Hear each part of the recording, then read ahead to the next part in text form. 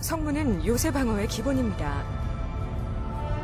성문은 웬만한 공격에는 끄떡없을 정도로 튼튼한 데다 성문 수호석으로 수리할 수 있기 때문에 상대의 공격에 꽤 오래 버틸 수 있습니다.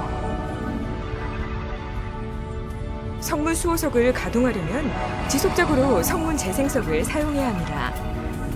재생석 사용을 중지하면 성문이 순식간에 파괴될 수도 있죠. 그리고 성문은 공성병기에 매우 취약합니다.